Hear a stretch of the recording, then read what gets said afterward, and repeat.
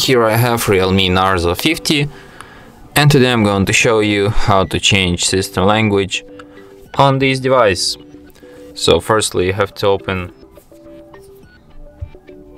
settings, then go to the additional settings, language and region, add language.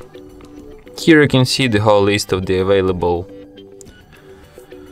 uh, system languages, so let's speak for example Ukrainian and then to set Ukrainian as your system language just drag it on the first place. Like this. Change to Ukrainian.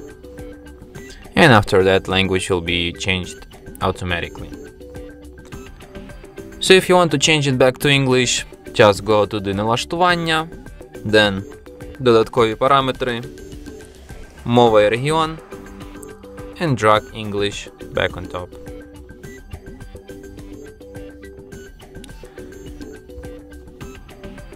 And that's it.